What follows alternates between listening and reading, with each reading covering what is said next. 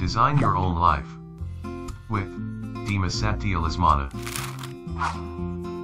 Subscribe, tekan tombol bel, share dan like videonya ya guys. Terima kasih. Tuhanku, bentuklah putraku menjadi manusia yang cukup kuat untuk mengetahui kelemahannya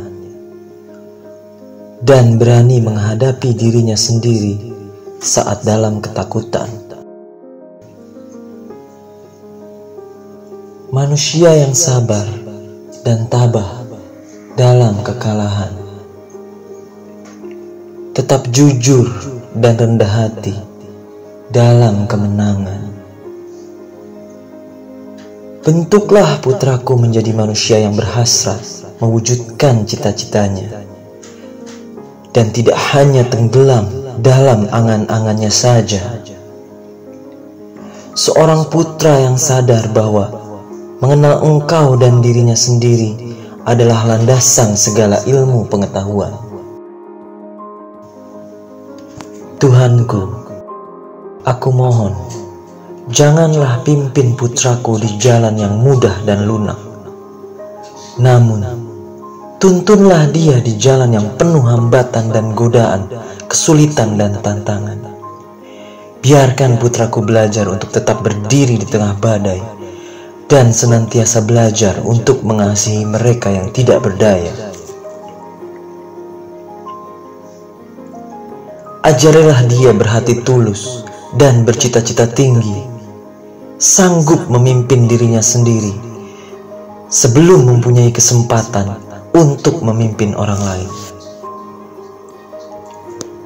Berikanlah hamba seorang putra yang mengerti makna tawa ceria tanpa melupakan makna tangis dan duka.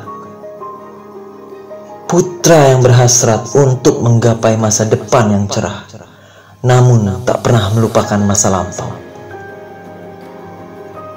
Dan setelah semua menjadi miliknya, berikan dia cukup rasa humor sehingga dia dapat bersikap sungguh-sungguh namun tetap mampu menikmati hidupnya.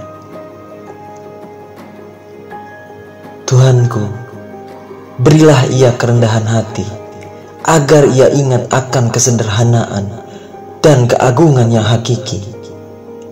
Pada sumber kearifan, kelemah lembutan, dan kekuatan yang sempurna. Dan pada akhirnya, bila semua itu terwujud, hamba ayahnya dengan berani berkata, "Hidupku tidaklah sia-sia." Terjemahan dari A Father's Prayer karya General Douglas MacArthur